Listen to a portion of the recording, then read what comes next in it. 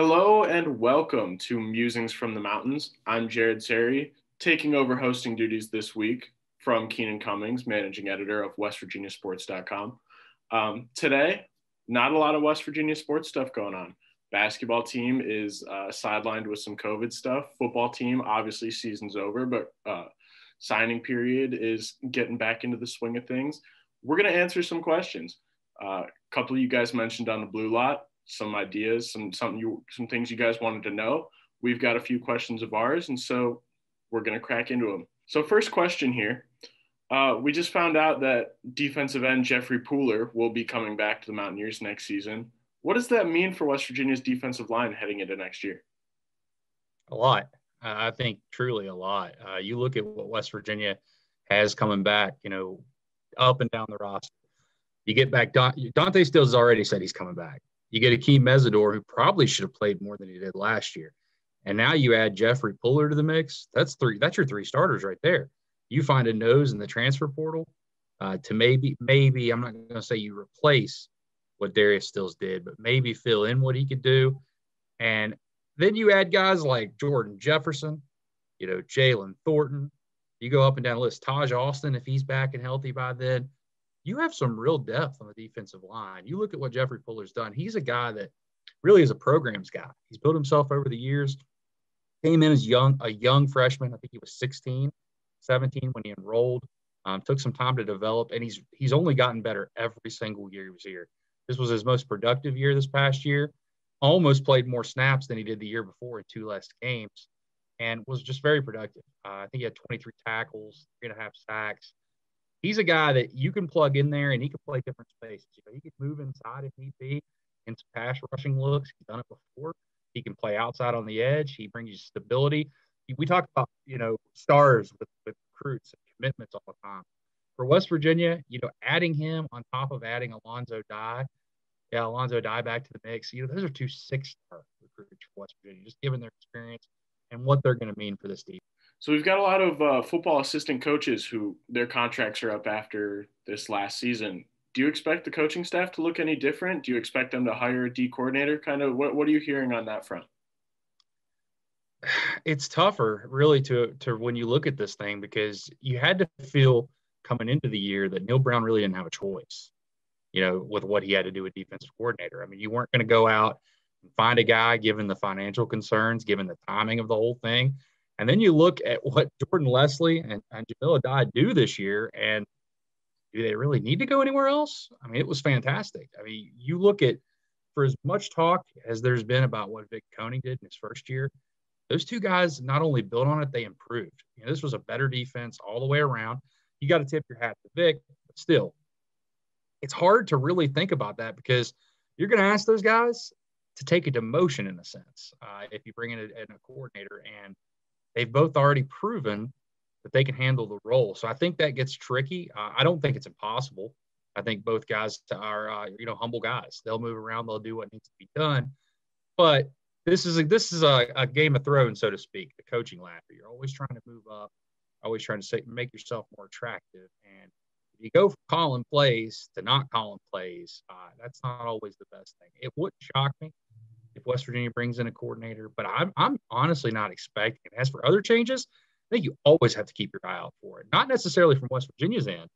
I think they'd like to bring most of these guys back if they can, but that's the college football coaching carousel. It's always spinning, it never stops. And I mean, who saw Blake Seiler leaving for Old Dominion to be their defensive coordinator last year? None of us did. I mean, even with his connections, but th- that's how it works it would not shock me at all if West Virginia has some guys that are attracted to other schools. It's going to be on West Virginia to keep them because they have several guys with expiring contracts. You look at the assistants right now, the majority are uh, have an expiring contract that's up in February. So you start hearing pretty soon about either extensions, you know, new contracts, or possible guys moving on. Uh, something interesting this year, though, I thought just generally is usually the coaching convention. Yeah, that's where you really start to hear stuff everything was virtual this year. So it was different. It was more quiet than normal. I don't know if quiet's a good thing or a bad thing. Because if you're West Virginia, you like what this staff's done so far. Could it improve in some areas? Sure. But you keep hearing trust to climb, trust to climb. I know some of you are sick of hearing that, but you can see things coming together to make that possible. While we're on the topic of this season, this upcoming season, you know, a handful of incoming recruits finally stepped on campus, finally early enrolled, you know, so potentially some guys like Will Crowder, Victor Wikstrom. Um, kind of who, if any of those guys, do you see making a substantial impact this fall? I think that's an interesting question. I think some of that really depends, at least for my sake, on what does spring ball look like. You know, I asked Neal Brown. Uh, you were in you were in there as well in the Zoom conference. What does winter conditioning look like? And he said, really kind of the same. It's not going to be as, as interrupted this year. We're actually going to go through the motions, and you know, yes, there'll be more spacing, more practicing, practicing social distancing and those aspects of things, but they're really going to focus on kind of getting things back to normal in a sense. If spring ball's normal, you got to look at some of these guys that West Virginia's bringing in. You know, if a guy like Kaden Prather, which I have not confirmed yet if he's here, I should get that list in the next day or two. But if he's here, you got to automatically think he has a chance. Uh, impact wide receiver, I think you think he has a chance regardless, just based off his skill set. I think he's a guy that can come in and help. Some of those guys, it's tougher. You know, it's going to be hard for me to say Will Crowder is really going to compete for a job. Maybe he does. I mean, you've seen it before, but you have to feel like some of those other guys are ahead on the totem pole. But you go up and down that list, I think there are some guys that can really help West Virginia. Uh, maybe maybe an Aubrey Burks. I like what he can do as versatility in, in a secondary. And there's some more guys too. But I think the interesting part about this class is just the quality. I've talked about it a lot. I mean, there's 16 commitments in this class, 17 if you want to count Doug Nester, who obviously is going to play. He doesn't even count. Um, you don't bring in a guy his caliber and not expect him to play, and he really enrolled too. So I think the thing that you, you, look at this class, I think down the road, three to four years, this is going to be a, a, group you point to and say, wow, that, that was a really good group. So, what do you see happening for WVU this time around as uh, you know football recruiting as signing day heats back up again in February? I think it's going to be interesting. I really do. And the reason I say that is West Virginia has needs, but some of them are immediate needs. And what better way to address that than getting the old transfer portal? I think you do see them look at that a little bit. I don't think that that's the DNA of what Neal Brown wants as a program. I don't think you're ever going to see him take, you know, 13, 15 transfers you saw with Dana Holgorsen at times, you know, from junior college and traditional transfers. I don't think that's going to be in his DNA. But I do think you're going to see him fill spots. You've already seen it with Doug Nester. I think they have an obvious need at linebacker. I would be absolutely shocked, absolutely shocked, Jared, if you don't see a linebacker transfer, uh, either junior college or, or traditional. I think secondary is pretty safe too to pick out. And if they can find the right guy at wide receiver and possibly interior defensive line, as I mentioned earlier, you take those. Would it shock me if West Virginia doesn't sign a single guy uh, February 3rd? No, it wouldn't because some of this is some of this is supply and demand. I mean, this is a very competitive market right now, and you don't want to take guys just to take guys. Scholarship restrictions, they can only take five more guys in this class. Yes, they can take for future classes. They want to take some scholarships for 2022 and manangle that a little bit. They could do that, but it's probably not recommended. I do think the 22 class is going to be smaller overall, but they've got holes to fill. I, I think maybe a high school guy, maybe one or two. Uh, think about it like you have the last couple years. West Virginia, I think, has added two guys both times in the late cycle. So think about it like that a smaller group, if that. And then remember, signing day is not the end of this, guys. There's going to be a ton of guys that go in the portal after spring ball. There's going to be a ton of guys that go in the portal after summer. This thing goes all the way until kickoff. I mean, you saw that with Josh Growden, uh, you know, a couple years ago. Tony Fields this past year, he didn't even arrive till fall camp after it started. So this thing goes a while, and I, and I think it's people have to remember that at times. Don't panic. I mean, they have 16 spots. Got to remember they can only fill 22 of those, and they filled really 17 if you count Doug Nester. So there's still a lot of time, and there's going to be a lot of new names emerge in the coming weeks. Now, speaking of the transfer portal, you know, Tennessee, big news on the block this week. Tennessee is undergoing a regime change. Phillip Fulmer, athletic director, is out. Jeremy Pruitt, head coach, is out. Um, a lot of West Virginia fans, you know, they think Darnell Wright, former Huntington high schooler and uh, on the team over there with the Volunteers, a lot of West Virginia fans think that, hey, maybe he's a guy who could hop into the transfer portal. Do you see that happening? And is he a realistic option for WVU if he does choose to go that route? I think if he does, yes. Uh, if he does, is the is the is the big question to me. I don't think that it's a slam dunk in any by any means. I haven't heard that it's a slam dunk. I'd be lying to you if I said I hadn't heard rumblings of things, you know, possibly happening. But you hear stuff like that all the time when it comes to transfers. The one thing about transfers that I think a lot of people don't realize is before the transfer portal was in place, there'd be guys that were set to leave and then would change their mind, or set to leave and then change their mind, or they were going to stay and then change their mind. There's a lot of waffling when it comes to this.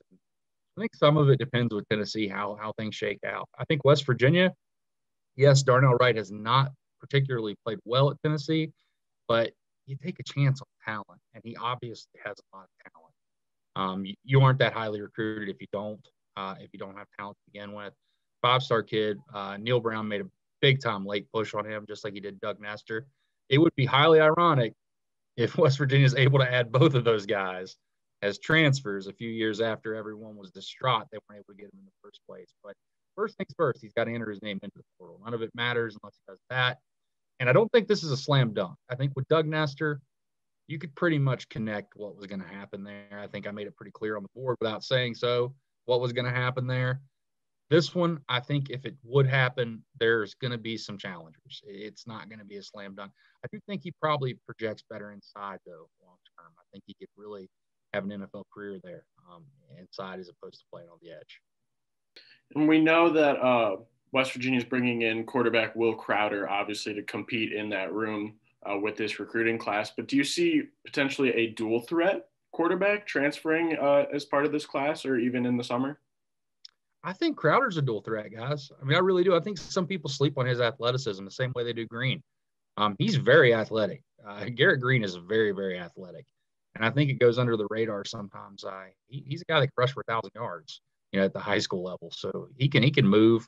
Uh, he can also throw the ball. He's got he's got a cannon. So if you're talking about in terms of a true, you know, a guy that more like a Pat White type, I don't know if that's in their DNA. I don't know if they're going to kind of go after those guys. What they really look for in quarterbacks are guys that make decisive, quick decisions, get the ball out of their hands, and can move the pocket, which is really what you have. Does West Virginia bring in a transfer? Honestly, your guess is as good as mine right now. Um, I think they will look at it.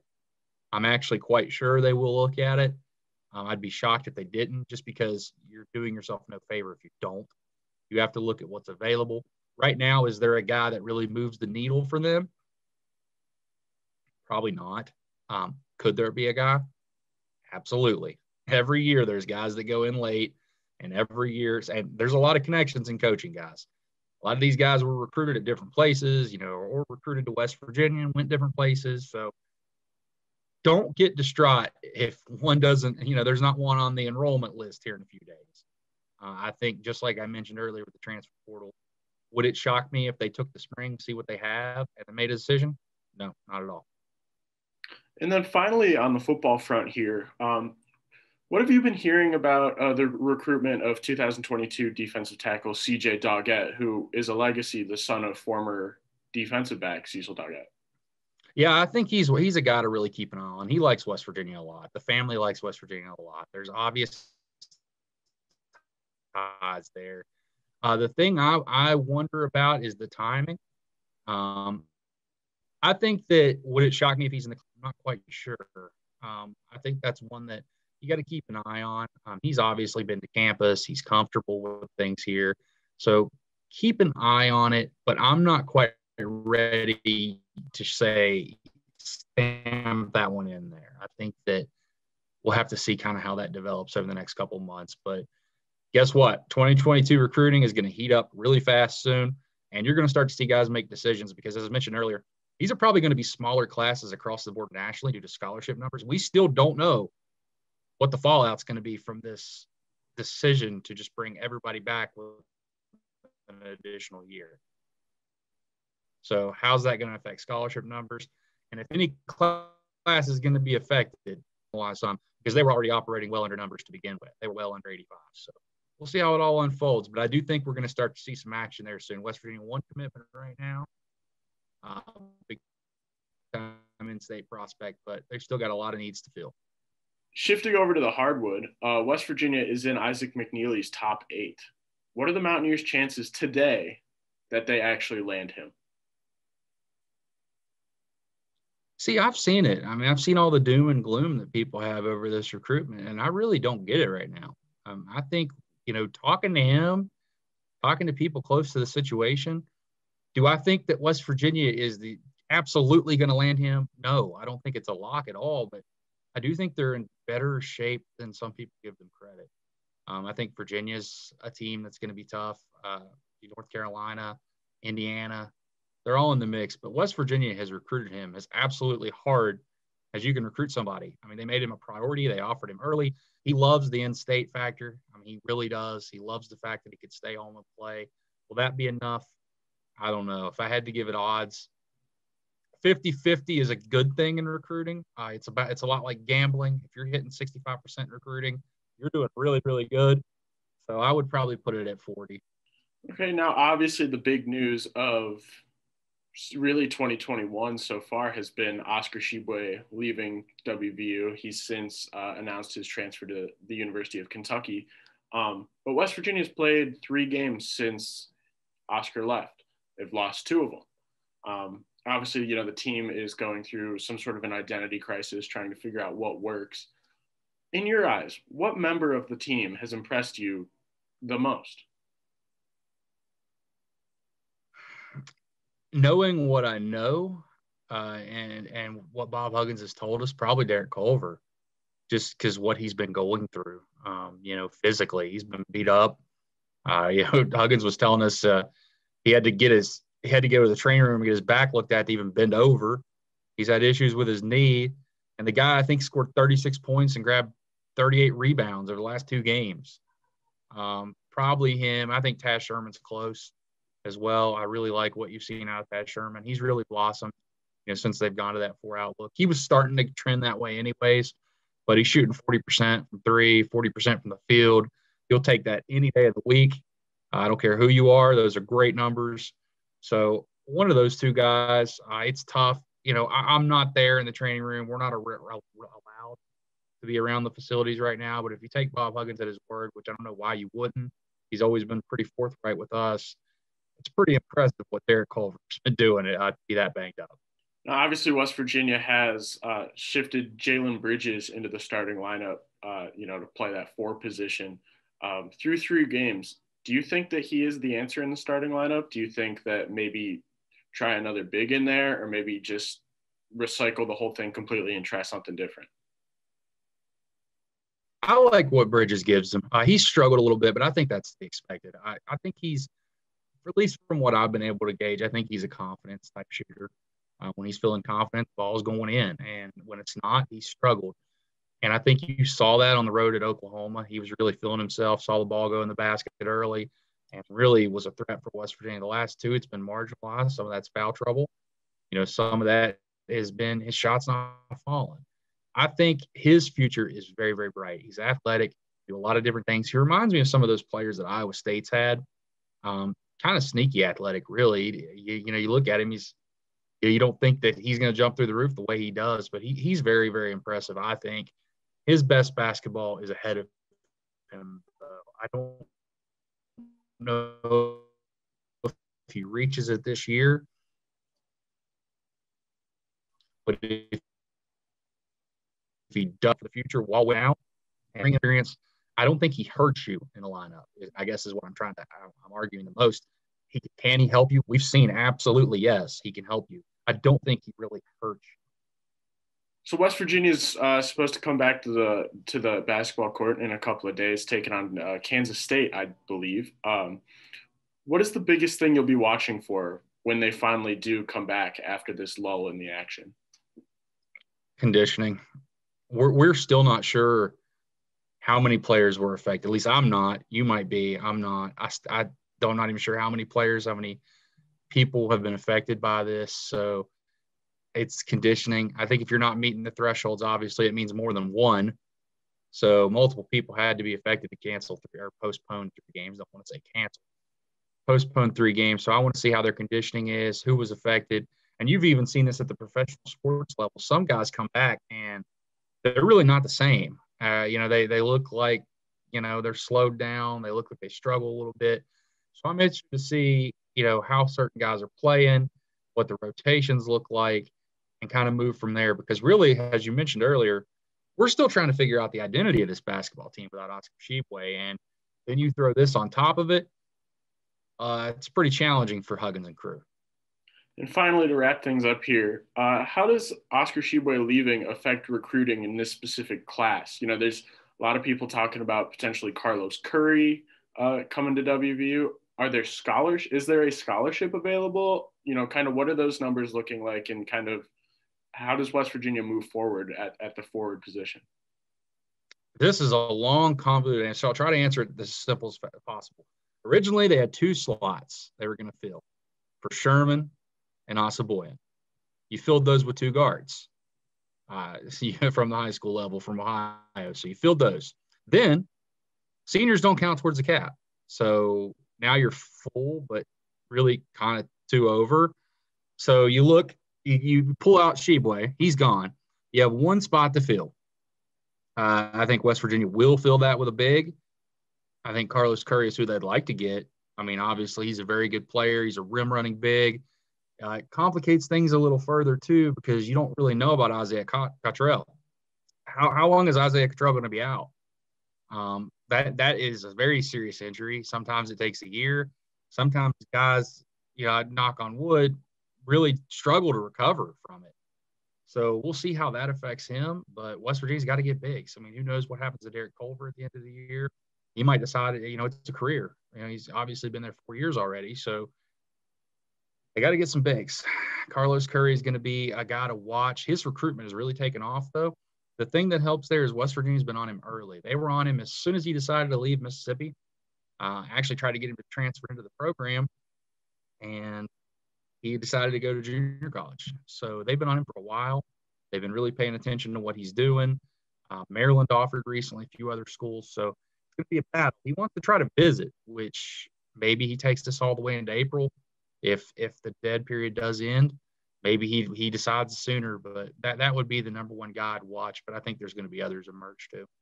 This has been another episode of Musings from the Mountains. Thank you for tuning in. As always, for Keenan Cummings, I'm Jared Serre. Don't forget to join the discussion on the Blue Lot at westvirginiasports.com, and we'll be back soon.